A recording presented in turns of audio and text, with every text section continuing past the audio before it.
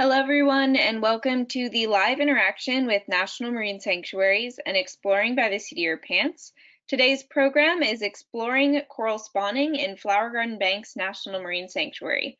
We will begin promptly at 2 p.m. Eastern, so stay tuned until then.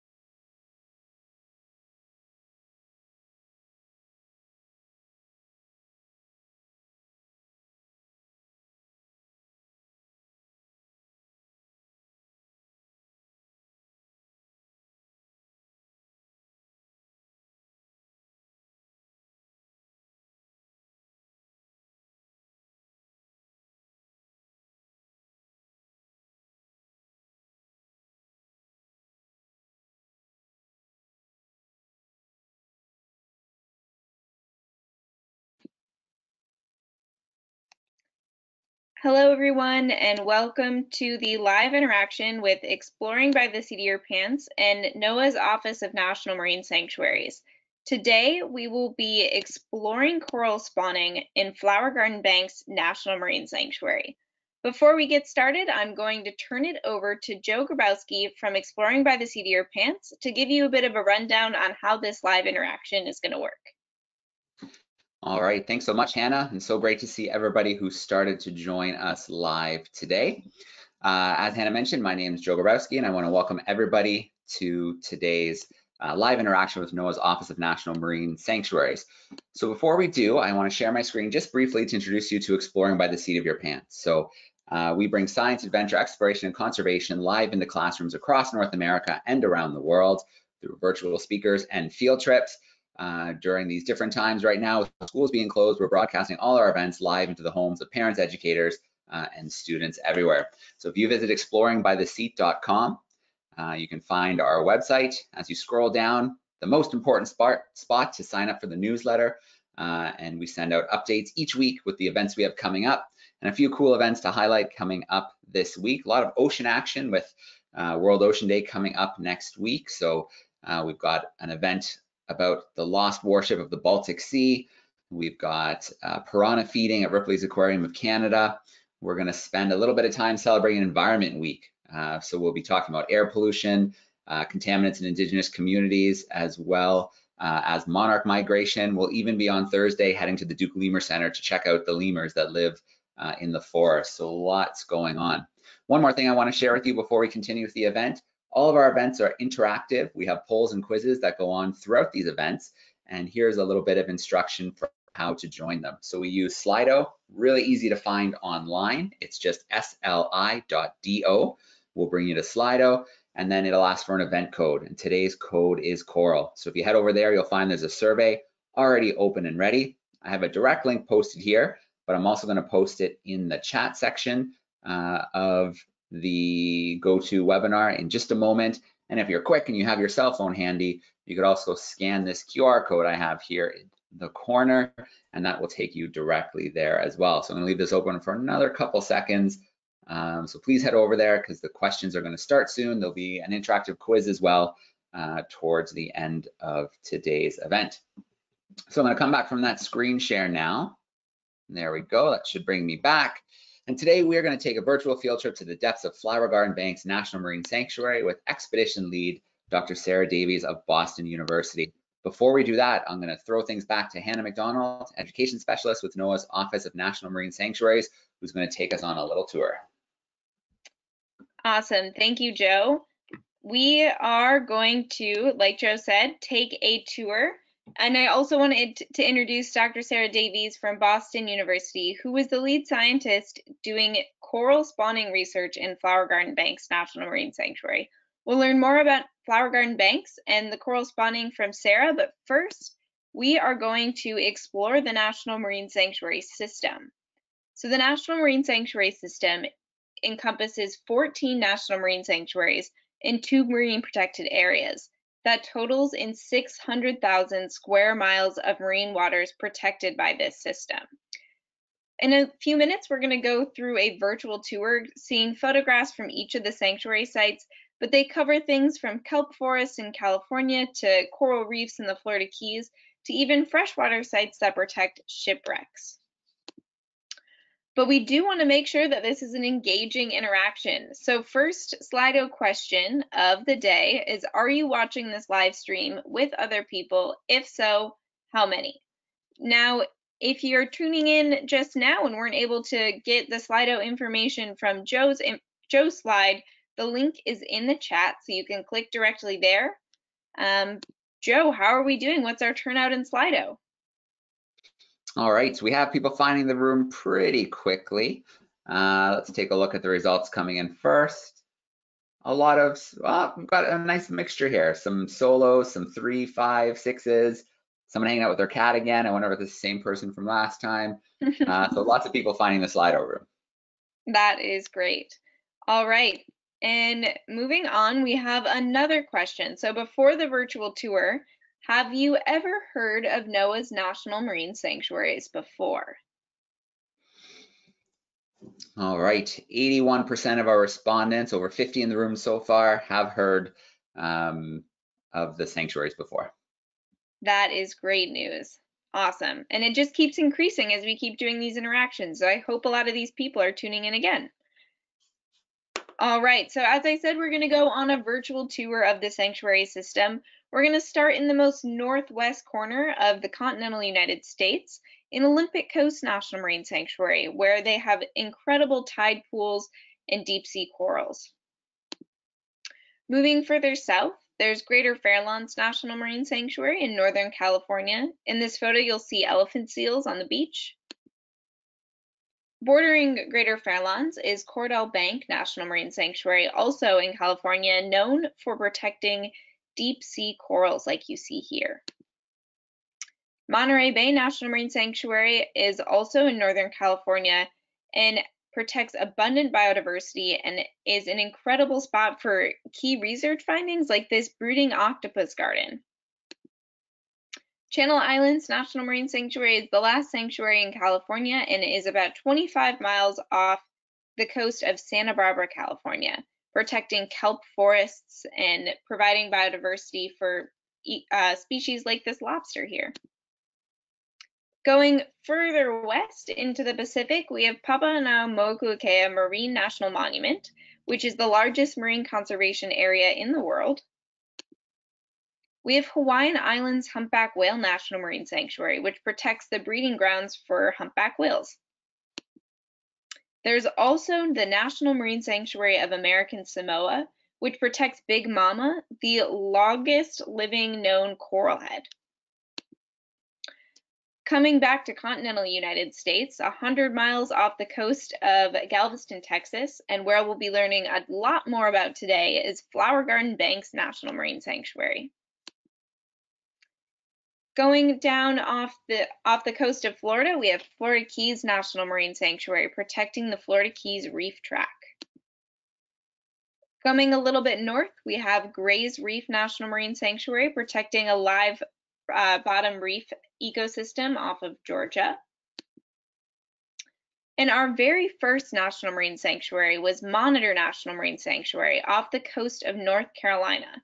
This sanctuary protects the USS Monitor, a Civil War era shipwreck. Our newest National Marine Sanctuary is Mallows Bay Potomac River National Marine Sanctuary, which happens to be in between Maryland and Virginia. As you can see from this photograph, this is quite a unique sanctuary because the shipwrecks are partially submerged under the water.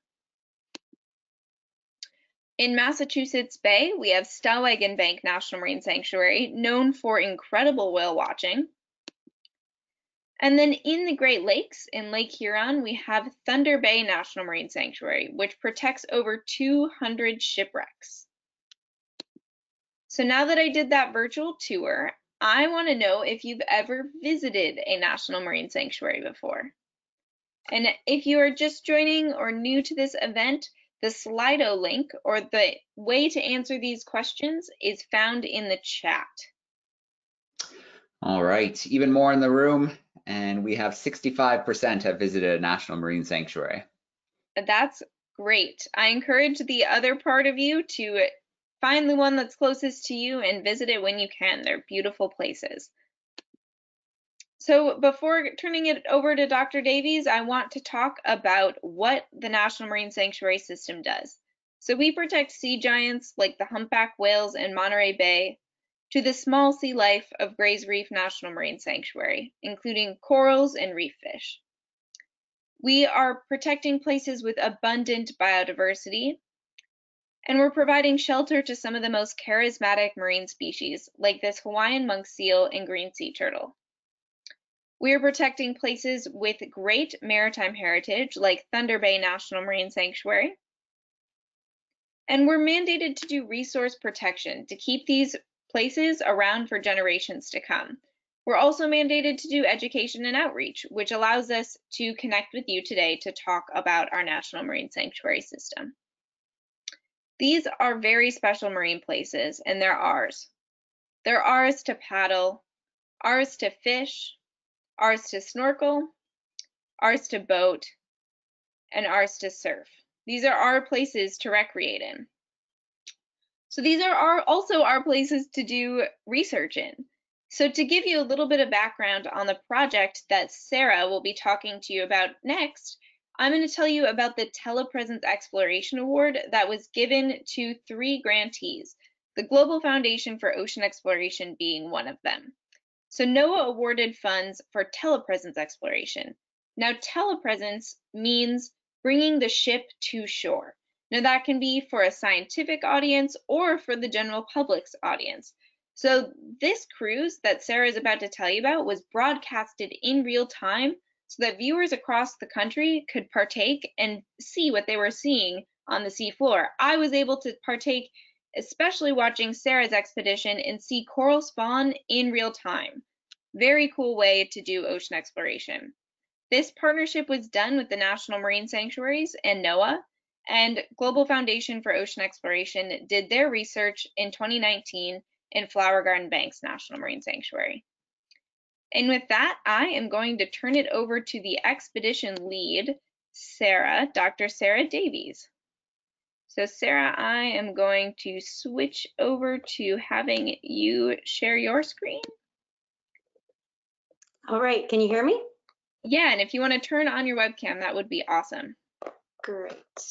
Let's see. And we are seeing your slides. Cool. Okay. Hi, everybody. Um, I'm going to put this here. Okay, so I'm Dr. Sarah Davies. Um, if any of you are Twitter savvy, I'm fairly active and you, this is my Twitter handle here. Um, I post all sorts of fun things and maybe some not so fun things when it comes to some of the coral health. Um, but I'm an assistant professor at Boston University um, you might be able to see me, but just in case you can't, this is what I look like. And I'm holding actually a coral piece from the Flower Garden Banks National Marine Sanctuary um, that was collected in, actually this one was collected in 2018. Um, I've got a little Canadian flag there because I am I hail from Canada. I first started working at the national at the Flower Garden Banks um, when I was doing my master's at the University of Calgary. So this is this crazy thing we set up at 80 feet in a sand patch on the east bank of the Flower Garden Banks, and it was looking at um, recruiting corals, so getting baby corals to grow on tiles and um, testing different types of animals living in these different bins. Um, in I then went on and did my PhD work at the University of Texas at Austin, so slightly closer to Flower Garden Banks. This is me diving um, back in 2010. And then I also continued working at the Flower Garden Banks as a postdoc at the University of uh, North Carolina at Chapel Hill, uh, specifically working on a die-off event that happened there. And, and then I got uh, lucky enough uh, to collaborate with the Global Foundation for Ocean Exploration as an assistant professor here at BU, um, looking at um, mesophotic coral spawning. So it's been an exciting exploration. So just to remind you where we're going, we're going here to the Flower Garden Banks. Um, so this is a place that's very close to my heart and I hope to continue working here forever. It is one of the coolest places I've ever scuba dove and I've dove a lot of places around the world. so this is a this is where the flower garden banks are. So um, it's about 100 miles south of the Texas-Louisiana border. So if you can see my cursor here, um, right along the border here, it has uh, three banks, the Stetson. I'm not going to talk about that today, but we have the west and the east flower garden banks. And we generally go out on the RV Manta, which is this beautiful boat pictured here out of Galveston, Texas. Um, so Flower Garden Banks is really amazing. I know this is about coral spawning, but I'd like to highlight a little bit um, of the charismatic megafauna that we have. Uh, so this is a sea turtle, um, some great fishes, manta rays. This is my first and actually only whale shark I've ever seen was at Flower Garden Banks. Uh, they have the invasive lionfish um, there now, and they do um, active extractions with local fishermen. Um, and I think what's really great about the Flower Garden Banks for me as a coral scientist is that the coral cover at Flower Garden Banks, which is in this orange color here, you can see through time. So this is going from 1989, probably before many of you were even born. Um, survey data show that the percent coral cover, so how much coral is actually on the reef, hasn't really changed through time. This is really interesting. So we're sitting at about 50% coral cover. This is specifically at the east bank, but the west bank is very similar. Um, and this is in contrast to what's happening globally, where we see that uh, this is going from 1970 to 2010. Um, this was work done in the Caribbean in blue, and then this is global work done in the black color. And you can see that the percent coral cover back in the 70s and 80s was around 50% but now we're looking at very low percentages of mean coral cover. Um, so coral reefs worldwide are being degraded, um, and this is why Flower Garden Banks is such a special place, because here we are at 50% today. Um, so this is um, an example of a coral from the Flower Garden Banks. They grow massive in size, and they're absolutely beautiful. But I want to tell you a little bit about what is a coral reef. So we see these corals and they look kind of like rocks but they also kind of look like plants, but they're actually rocks, plants, and animals. So this is zooming in on a coral, and we call these polyps. So they look kind of like anemones. So if you remember, like Finding Nemo's home was an anemone, and corals are related to anemones. Um, and then, so this whole colony is covered in these tiny little polyps that go out, and they feed off of plankton in the water column. And they also have this brown stuff in them. And that's why we say that corals are also plants because they have these photosynthetic algae. These are single-celled algae that live within the coral tissue, as you can see in this close-up photo. And they photosynthesize and provide the coral with its food. So, um, so that's why they're able to live in waters that are really clear. Um, so when we go snorkeling on coral reefs, we see that the water is always really clear, and that's because the corals are able to photosynthesize uh, by using light to get their food. So a little bit, oops, that animation's broken, but um, a little bit about specifically the type of coral I'm interested in are called broadcast spawning corals, and they have a really cool life cycle. So once a year, this is such a crazy phenomena. They they release their um, eggs and sperm into the water column. So corals only reproduce once a year. Um, it's timed by the warmest month of the year. Um, then the day is eight days after the full moon in the warmest month. And then um, each species goes a certain time after sunset. So they release these bundles of eggs and sperm. These go to the surface and create these spawn slicks. And this is where fertilization happens. This is where the eggs and sperm will come together and make these cute little larvae. And you may think that's not very cute, but I'm going to show you this little GIF. Look how cute they are. Um, so they swim around um, once they receive cues emanating from the reef, so they can smell the reef through different sensory mechanisms. And so this little guy here is smelling, looking around for a good spot. And then this is another um, coral. Now we call them, this is when they settle. And so now they're stuck to the reef. Um, and then this final one here, this image that showed up when it shouldn't have, is a picture of a coral recruit. And now you can see it's got these anemone arms and these red dots are those algae. Um, so this is the coral broadcast spawning life cycle. So when we think about corals moving between reefs, it's really only the larval stage that's able to do that. Um, so this broadcast spawning behavior is really important when we think about how connected reefs are to each other, because the only way a coral can get to another reef is if they release these, um, these larvae. So this video is broken, so I think we have a quick question break while I pull up the video. So I Mm-hmm. will, Do we do? So while you pull that video up, Sarah, uh, we've got a quiz loaded up in the Slido. So I'm going to give people a few moments just to pop their name into the quiz, and we'll see how well they've been paying attention so far. So we have two questions like this during the video transitions. And there was one other survey question that was open just before we shifted over. And that was um, wondering how many square miles the National Marine Sanctuaries encompass. And 76% went with 600,000 uh, square miles. So good job uh, to those who are tuning in. I see the That is correct, climbing. 600,000.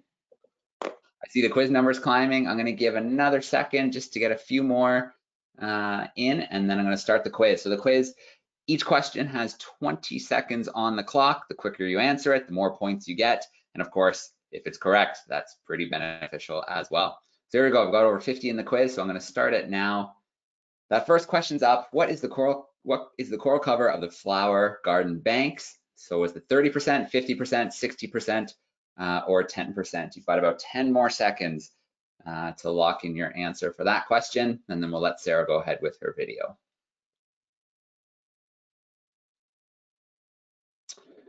All right, 81% went with 50%. What do you say to that, Sarah?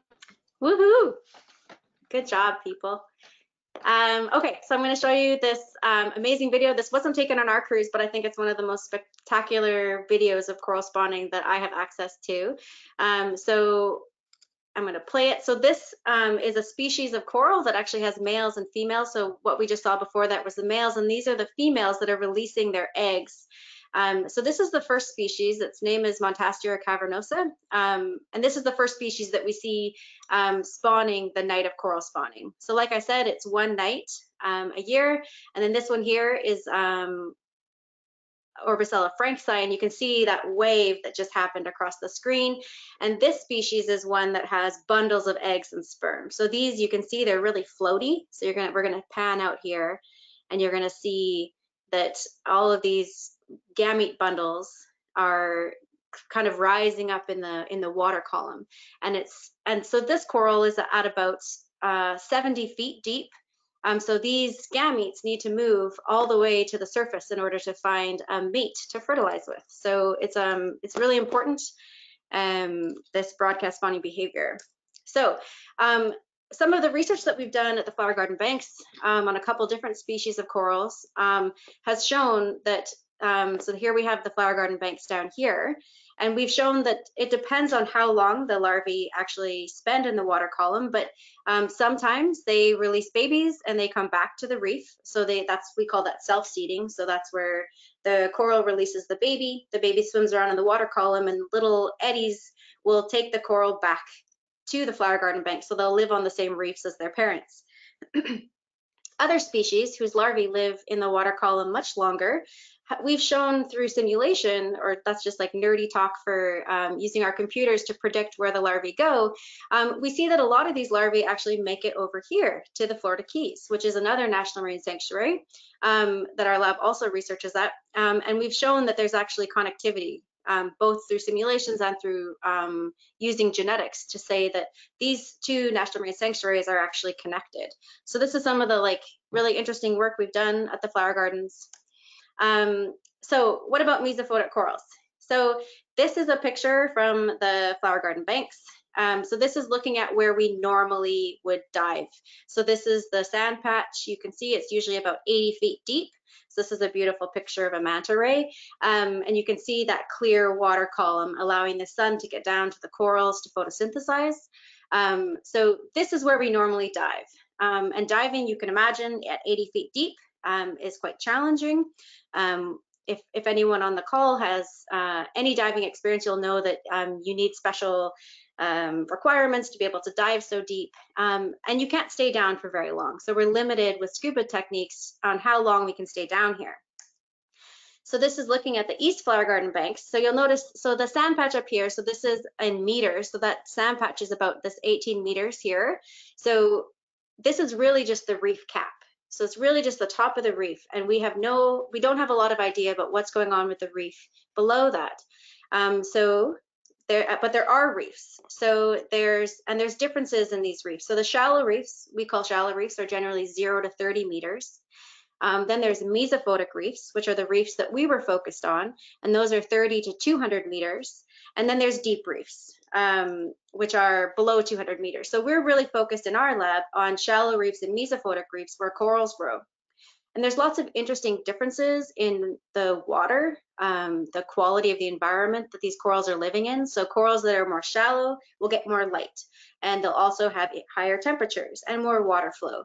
But the corals that are deeper, while it's darker and generally cooler temperatures and lower water flow, they also get more nutrients. So the water in the deeper parts is definitely more nutrient rich. So there's lots of differences about mesophotic reefs. So we can't really dive down there, or at least um, with, without very intense training. Um, so how can we monitor corals down at these mesophotic reefs? And the answer is collaborate with people from the Global Foundation for Ocean Exploration and use the RV Yogi. Uh, which is, or sorry, the ROV Yogi. So that's the remotely operated vehicle. So that means we put this vehicle in the water and we're able in real time to see what's happening um, down below on the surface. So it's a much safer way to explore the depths of the flower garden banks. So this is the manta um, at the surface. We're not underwater, but this little red track is where RV Yoga, Yogi had gone. And you can see, so we're deeper. So this is the 40 meter transect here. So we're actually really deep here. We're probably about 55 meters. Um, and we're able to explore um, in real time what's happening on these reefs that are deeper.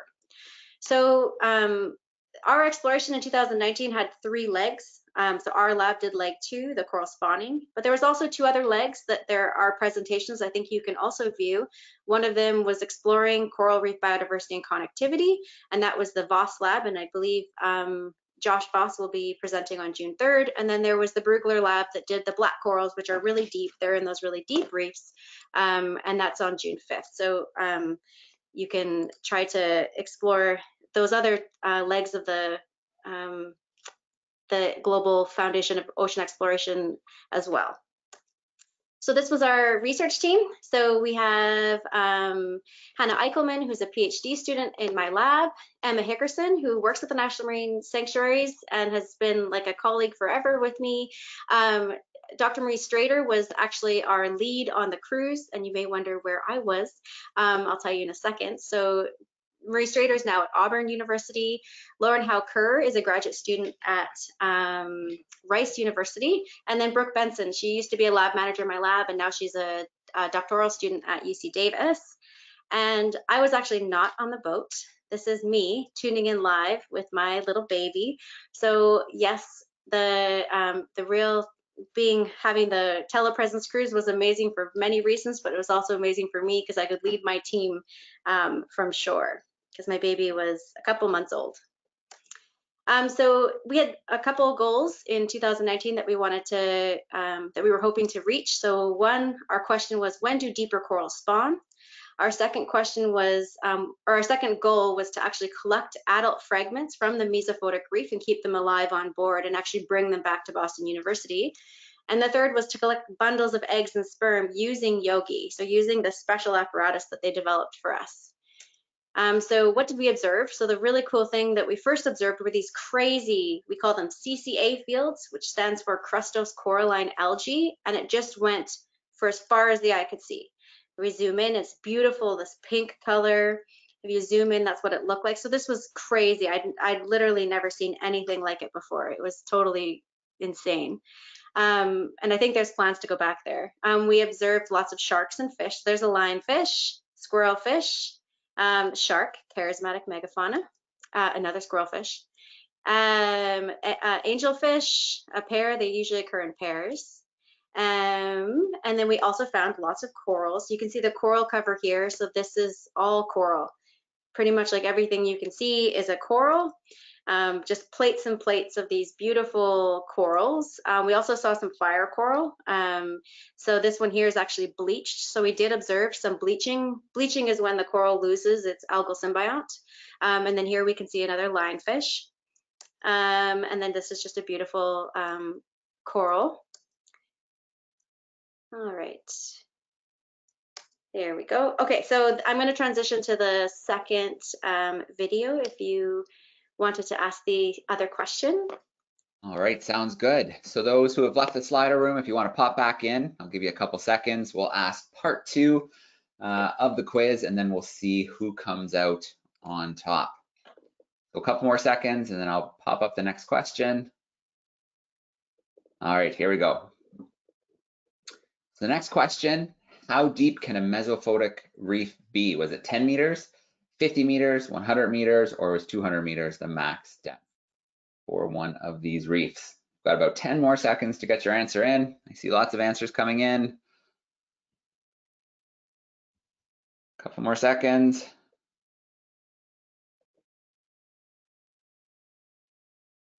All right, 49% went with 200, oh, just shifted, 47% went with 200 meters, um, which was the correct answer. So if we check the leaderboard really quickly, we've got Natalie in first place, two for two in 10 seconds. Um, Melise in second, two out of two in 12 seconds, and then Becky, two out of two in 15 seconds. So good job, everybody, and thanks for playing in the Slido room today. Sweet. Okay, so um, I'm going to show you some um, footage from our, um, just some highlight reel of the coral spawning we did do. Um, so th this is deep. This is at about uh, probably 45 meters. Um, so it's zooming around. So now we can see a male. So that's that cloudy stuff you see coming off. This is a better footage. So you can see these are males releasing uh, sperm into the water column. And one of the things you'll see is that the sperm's really moving away, and that's because we had a lot of current. Um, this is the ROV Yogi trying to collect those gamete bundles, but you can see that it was pretty, um, can think of it as windy down there. And there was also a lot of plankton. Um, and this is us collecting the adult coral pieces um, from the colonies. And I'll show you pictures of what they look like today in the lab. Um, so we put them into these buckets and then we bring them to the surface and keep them alive. Um, and um, this is collecting a second uh, piece. So you can see this is a slightly bigger piece. And this is these guys back in the lab um, and they are very happy. I'll show you some pictures, these some more updated photos of what they look like shortly. Um, but we did a lot of exploring um, under at these mesophotic reefs. Here's a lionfish, um, but that was the highlight of the spawning reel. And you may be wondering why we saw so little spawning.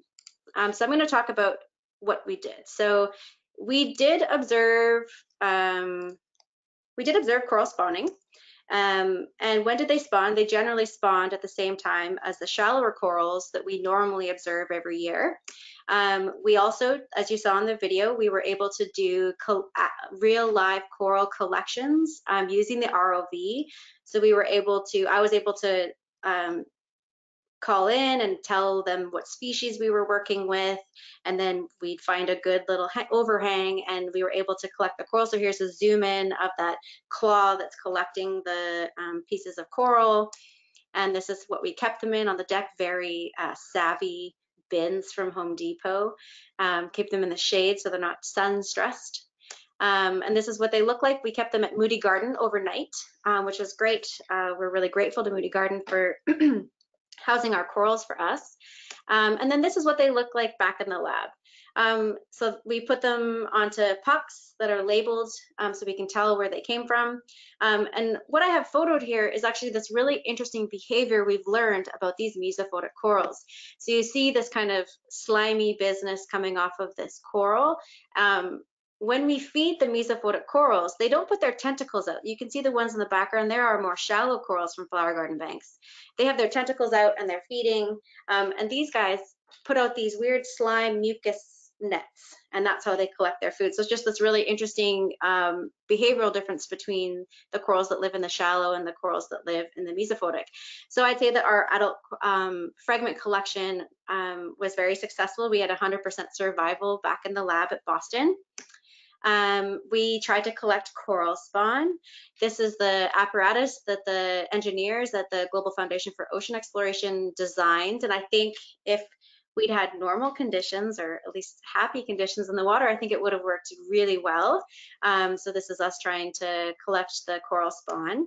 Um, unfortunately, um, there was a ton of um, plankton. So that's like little critters in the in the water column, and they created these really crazy vortices above the corals and um, and then they so they were contaminating all of our spawn because they were the lights of the um, ROV were really attracting the spawn or the the plankton. So they were definitely we had a lot of contamination. So this is the team trying to individually pipette out um, little uh, lar coral larvae um, through all hours of the night trying to find the larvae um, using all sorts of neat ways of seeing what is a coral and what is not a coral. So I'd say that this was sort of a success, um, but not really. Um, so when we think about some of the cruise issues, this is the type of picture you want to take out in the Gulf of Mexico. It's beautiful, it's flat, it's sunny, and sometimes you get weather like this. So we were dealing with weather more like this, which makes um, running the ROV very challenging for the, the, ROV drivers. So they did an amazing job, but it, there was a lot of current underwater um, and it was a very challenging trip. Um, these, these plankton vortices definitely were, were an issue um, that uh, allowed us to maybe collect fewer uh, coral babies than we were hoping to. But I'd say overall the cruise was a success. Um, these are the corals again back in the lab. So you can see these. Um, so this one here is with its like the, you can see it's really tentacly. That's what the shallow corals look like. So they have their tentacles out when they're feeding. And these are all the mesophotic ones. They have very thin tissue and they just put out this big slime. So they kind of slime the water to get their food. So, um, and this is what we're working on back in the lab. We're doing a bunch of um, thermal tolerance tests and stuff. So um, it's been really fun having them in the lab. Um, so with that, I thought I would open it up for questions. All right. Thanks so much, Sarah. That was a great presentation. Looks like an absolutely amazing place to dive uh, and really good news to hear about all the success uh, that came out of it. Very cool. Thanks. So to those tuning in, it's now time for some questions. I can take questions from two spots. I'll be looking for questions that come in the in the sidebar uh, of the GoToWebinar, but also the Slido page does have a spot for questions. You can even upvote other people's questions to the top uh, if it's one that you were thinking about. So we can get kind of the top questions from there uh, as well. So let's dive into some of those questions and uh, let's see what comes up first. Okay, so the first question I have here is about uh, bleaching events due to ocean warming. So is this uh, becoming more uh, or less severe compared to other locations you've looked at? At Flower Gardens, there are bleaching episodes, but they're they're quite short, um, and we don't seem to see a lot of colony mortality. So one thing to note to the to the audience is that coral bleaching is when the coral loses its symbiotic algae, and it doesn't mean that it dies but I showed you all the pictures of the coral feeding. Um, and so corals can receive food input, not just from their algae, but they're also feeding off plankton. So when they lose their algae, they definitely lose the major player for their nutrition. Um, so they, they're kind of starving like on a really severe diet, but they don't die right away. They slowly starve to death. Um, so normally at flower gardens, what we see with bleaching is they'll bleach, so they'll show that white that white coloration, um, but we often see that they recover. So the corals can actually, they don't lose all their algae and they're able to recover with background amounts of the algae that live still in their tissue, um, and then they repopulate the tentacles and then they look the brown color again. So um, I think that's one of the reasons why Flower Garden Banks is really special. Um, it's probably to do with that it's deeper and further offshore and has lots of things that buffer it from us humans doing things to the reef. Um, much, which is much different than what we're seeing on in the Florida Keys National Marine Sanctuary, where the reefs are really close to shore, they're much shallower, and we're seeing a lot of bleaching and a lot of disease at those reefs. So um, I think it's one of the reasons why the flower gardens are really special. So yes, we see bleaching, but we don't normally see that the corals are dying from that bleaching. Okay, so Michelle is wondering about uh, when the coral spawn. What are some, are there some signs you look for, time of the year? What do you, how do you know it's time? Yeah, so this is a great question. And uh, Emma Hickerson and I go back and forth every year, and I always just trust her because she just always bets right. Um, it's so you have to count when the full moon was, and then you have to count eight days after the full moon. But what happens when that full moon occurs at like a weird time of day, like 11 p.m.? Like, does the coral count that as night one? Or does the coral count like yesterday as night one? So there's definitely, it's not perfect. Um, and then also in a really warm year, um, or when the or when the full moon occurs at kind of a weird time, we can get split spawning. So that means that the spawn is kind of split across two months. So when I say it's like, oh yeah, we can predict it within minutes, it's like if we're if we're lucky that year. But it is fairly predictable. Um, but things we're looking for. Um, so like I said, it's the warmest month, so it's usually in August, and it's eight days after the full moon. If you're good at counting where the full moon is, it's difficult to know what corals think. Um, but then when we're underwater, um, well, first of all, when you're above water, you can kind of smell it.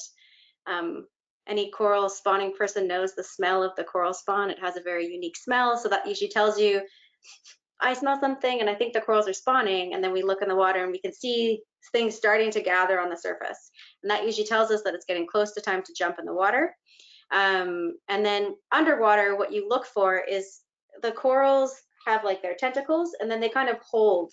They start looking really bulbous, uh, but they don't open their tentacles. Normally at night, corals have their tentacles and they're feeding off the plankton. But during the coral spawning night, they're like this and they're kind of poofy. They look like I call them juicy. They look like they're chocked full of stuff, and they are. And then they and then you start seeing the circle at the mouth, and that's the gamete bundle. And then eventually, all of a sudden, just like the whole colony releases everything. It's crazy. Um, so yeah, so that's kind of the things we look for long term, and then what we're looking for in the short term. So when we're looking underwater, when we're actually diving, we kind of scan with our flashlights and look for um, things that are releasing or when we can see them in the mouth. So that's what we're looking for. All right. So we've got Anna, and Anna's curious about when the ROV takes a sample uh, from the coral. Does how long does it take to recover? Does it affect the the colony much? Yes, that's a really great question. Um, so we never went back to those colonies, so I can't say um, for sure what happened to those specific colonies. Um, but what we see um, again and again is if you're sampling from a healthy coral, um, so I've done lots of sampling of corals ranging from stuff like that where you take like a whole fragment um, to um, we actually do like coral coring like you would a tree core. So we actually use a big drill and take out the entire center of a coral and then put a cement plug back in and then we can take that whole core and then we can look at how quickly the tissue grows over that hole. And we've monitored that at three different um, reefs. So we've actively had to monitor the rate at which the coral recovers. Um, so this was work done in the Florida National Marine Sanctuary, or Florida Keys, sorry, um, Panama and Belize. And in, in every case, after two years, the coral had over had covered up everything. You couldn't tell which corals we'd cored anymore. Um, and then when you're taking smaller samples, um, it covers up like within a couple months. The tissue just kind of like grows together. with these fragments, um, so I've never actually looked at long term, but my my guess would be based on how other injuries work with corals is that we take if we take kind of the piece like this, and I'm I'm guessing that it would just uh, the tissue would grow over that um, piece that we injured, and then it would slowly grow like a normal um, edge. But taking from the edge is, I think, probably better than taking from like the center of a colony like we do for other types of sampling. So my feeling is that I hope we didn't hurt them too bad, but I think they're okay. All right. So in the Slido room, the question voted at the top is from Asher, and they're wondering about your favorite marine species in the National Marine Sanctuary. I hate being such a like a cop out, but I have to say the whale shark. It was by far the coolest thing I've ever seen. And it's such a nerd, it's such like a, it's not nerdy. I should pick like something nerdy like my favorite coral species, but I mean, it was such a cool experience. It was this juvenile male and I like never swim in the water without a rash guard um, because I'm like scared of getting burnt and also like the jellies and stuff. So I always and we we de-skinned after a dive and then someone's like, "There's a whale shark." I literally just like hopped myself in the water and like chased it for like an hour. It was I didn't chase it. I watched it. Um, but it was just such a such an amazing experience to be and he was so curious like kept coming back so i mean that's definitely the highlight of my time at flower gardens although most of my work there is on coral so i should have probably picked a coral it's going to be the whale shark all right uh, let's grab another question here this is from anonymous but they're wondering if all uh, corals are hermaphroditic no, so that's a really great question. Um, so there's actually like lots of different types of reproduction strategies in corals. So the ones I work on are the broadcast spawning ones. Those are the ones that spawn once a year. Um, and within broadcast spawning corals, you can do one of two things. You can have coral colonies that have different sexes. So they have males and females. So you saw the video footage of the coral that was releasing kind of like, it looked like smoke. Those are males and that's the sperm. And then the females kind of release these um, kind of toothpastey eggs. Um, so some species are, they, they call that gonochoric so they have separate sexes. Um, but the grand majority of broadcast spawning corals are hermaphroditic. Um, and then there's other types of corals that are called brooders, and they do lo like lots of complicated strategies. They um, suck in sperm from their environment and like fertilize their eggs and then release larvae that are actually ready to settle. Um, so it's a very different reproductive strategy. Our lab doesn't really um, work on those corals. Uh, we mostly focus on broadcast spawning species, but they're not all hermaphroditic. Okay, so Susan's wondering if any of the coral you collected or if there's future plans to try and use uh, collected coral to kind of uh, give a little boost to parts of the reef that might be struggling. So that is such an awesome question too. Um, no, only because we would probably not get permits to do that. Um, so I'm part of the Coral Restoration Consortium. Um, I'm um, one of the scientists on the genetics working group. So there's a group of us that are looking at um, viable options, to, especially in the Florida Keys where the coral coral declines are quite severe and we're having to start to ask questions about how to best um, do restoration on a local level and then also how to do restoration on a more broad scale like across the caribbean um, so these are definitely we don't have answers i don't think but um, we wouldn't get permits right now to ever move corals from the flower garden banks to the florida keys. Um, and so there's no plans for that. And the reason for that is like many reasons. We don't know what would happen. So corals also have a huge consortium of bacteria that live on them just like us. So we have like you've heard of our like gut microbiome corals have the same thing but um, it's throughout their whole tissue. So they have a bunch of microbes and it could be that flower garden microbes are really great at flower gardens but maybe if we put them onto florida reefs they could do really bad things. Um, so right now there's no talk of that. I do think there we are trying to get approval right now of um, nursery babies in Florida that are from different places like Puerto Rico. Um, we're, we're, hoping that eventually it might be approved that we're able to outplant um, some of the species that are in more severe declines, not the species we work on. Um, but yeah, so I think it's a really great question, and I don't think scientists have all of the answers, um, but we're working on it. And um, but yeah, for now they're just like our pets in the lab that we've been keeping happy during COVID. All right. So Vinicius is wondering about the coral in flower garden banks, wondering if it's uh, more thermotolerant to the bleaching episodes or is it protected by the depth? That is such an awesome question. And that's something that we were planning to test this summer. Um, so originally we'd planned on, so we have, I told you we have like two types of corals in the lab right now. We've got the shallow corals from flower garden banks, like more shallow, like they're from the 18 meter area. And then we've got the ones that were collected quite a bit deeper in the mesophotic. And our original goal was to test differences in thermal tolerance for the corals um, due to a variety of issues. So we couldn't do the experiment in the fall because the mesophotic corals weren't very happy because we didn't know how to feed them properly and now I told you that we know about this like weird mucusy business that they do. Um, so um, then we planned on doing it in the spring, right after spring break. And spring break at BU was when we closed down for COVID.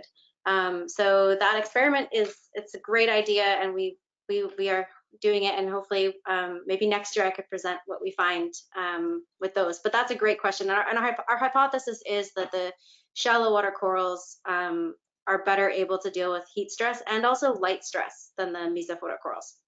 Um, but yeah, we haven't tested it yet. All right. So we have a different Susan who's wondering about the coral spawning event. So obviously you're in the water, you're collecting some samples. She's wondering what other creatures are taking advantage and feeding on the coral spawn.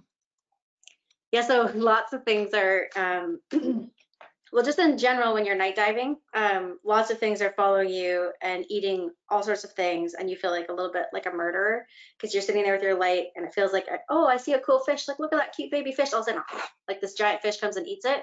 Um, and with the coral spawning, we've seen lots of different things eating the spawn, but definitely like there's crabs that eat them, there's fish that eat them.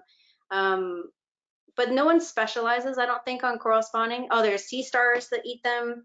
Um, but no one specializes on coral spawning because it wouldn't make sense because then you would only get a meal once a year. Um, but lots of things will will eat spawn. Um, so it's definitely one of the things we think is the primary source of mortality of larvae in the water column is just baby fish, crabs, all sorts of things in the plankton eating it. yeah, so and then not necessarily flower gardens, but um, in other areas of the world, you'll see like um, the coral spawning happens at the same time as like whale migration in some areas, and you'll see like they they like so a baleen whale just come in and just like scoop up all the spawn or like a whale shark comes in and just like eats everything. Um, but again it's not like they specialize in coral spawn eating. That wouldn't be very smart but they definitely think it's tasty. All right we're going to wrap up with a final question. A few are asking the same question uh, about what uh, drew you to your field that you work in. And i want to add one little part to that because lane added a little part to hers and she really wants to know what the smell is like. What is the smell of spawning coral like? Um, so what drew me to uh, work on coral spawning was, um, so I grew up landlocked in Canada, but I was working at a marine station for the summer and this uh, guy named Don Levitan came and talked about coral spawning. And I just like couldn't believe that such a, it was totally coral spawning that brought me into coral research because I couldn't believe that corals were so smart because I just thought they were rocks. Like, how do they do this? And we still don't really know. Like, how do they cue it so carefully? And it's such it's such an example of like perfection in nature. Um, so it's definitely the coral spawning that drew me into being a coral biologist and scuba diving. Um, and flower garden banks definitely helped. Um, and then what does it smell like? I don't know, like kind of melons. I should text Emma. Um, you should you should actually um, if you if anyone's on Twitter, you should tweet at me what does coral spawning smell like, and I feel like a lot of coral spawning people will have really good descriptions, but it's definitely kind of like a fruity, weird smell. And like my PhD advisor ate some on toast because he, he thinks that he's a big believer in that you need to eat what you research at least once, and it was filthy, like it was disgusting. So it's definitely not tasty um, but it has an interesting smell that I, I, I associate as being like a really nice smell. But I've had new graduate students tell me that it smells really gross. So I can't really describe the smell though. All right, fair enough. We appreciate uh, you trying, and maybe some people will shoot some answers at you or some some more questions at you via Twitter. So we do want to start off with a big thank you to everybody in today's event. Thank you for all the great questions uh, coming through the question bar. Thank you to all those who joined in on Slido and played along and sent in your questions there. Uh, obviously, Sarah, huge thank you to you for a great presentation. And I'm going to throw things back to Hannah to wrap us up for today. Thank you, Joe, and thank you, Dr. Sarah Davies. That was a fantastic presentation. And I do have to say, one of the most memorable moments of all of 2019's expeditions for me was watching what Emma explained as the coral spawning tornado that happened live. I think I was laying in bed. It was maybe 11 Eastern time, stayed up late to watch coral spawning, and it was fantastic. So your work is incredible, and I just wanted to thank you for sharing it with all of us too. Yeah, thanks for listening. So I also wanted to update all of the attendees that all of our live interactions with Exploring by the Seat of Your Pants are located on a playlist within his YouTube channel, Exploring by the Seat of Your Pants. So you'll be able to find this live interaction as well as all of our previous live interactions there. give us a few days to get this recorded recording down um, up on the page, but once it's there, feel free to rewatch any parts that you were really interesting to you or find a interaction in a different National Marine Sanctuary about exploration. Upcoming, like Sarah said, we have two more webinars this week, both in Flower Garden Banks National Marine Sanctuary, talking about different aspects of this expedition. So tomorrow we are going to be with Dr. Joshua Voss, and he will be talking to us about coral reef restoration or coral reef biodiversity. And then on Friday, we're going to be talking with Dr. Mercer Brugler about the black corals in Flower Garden Banks National Marine Sanctuary. So you will not want to miss learning more about Flower Garden Banks this coming week with our live interactions with Exploring by the Seat of Pants. And then we have another very exciting live interaction coming up next week with Exploring by the Seat of Pants to kick off World Ocean Week and the launch of our Sanctuaries 360 media collection. So we will be launching four 360 videos on Monday, June 8th for World Ocean Day, but we're going to be going over them with you and you get to meet the videographer on June 10th at 11 a.m. So feel free to sign up for that one too. Many exciting live interactions coming up. And for even more, you can find them on sanctuaries.noaa.gov slash live. We host two different types of live interactions, the ones that we're hosting with Exploring by the Seat of Your Pants geared for students. and we also have a webinar series geared for educators to teach them about how to bring marine conservation and science into the classroom. Also wanted to highlight all of Joe's programs, which bring scientists and explorers to your screens through Exploring by the Seat of Your Pants, great ways to connect. And then NOAA Ocean Today also hosts a webinar a month to bring NOAA ocean science to you. Following this program, you'll see a link to do a survey. This survey helps us assess these programs and build them out moving forward from figuring out what topic areas you're interested in to seeing how we can improve the format. So we really appreciate your feedback if you are an adult and able to fill out the survey. So with that, that is all that I have to share on behalf of NOAA's Office of National Marine Sanctuaries. I want to thank Joe from Exploring by the Seat of Your Pants and Sarah from Boston University for presenting such incredible work on Flower Garden Banks National Marine Sanctuary. Thanks. And with that, this concludes today's webinar. Thank you, everyone.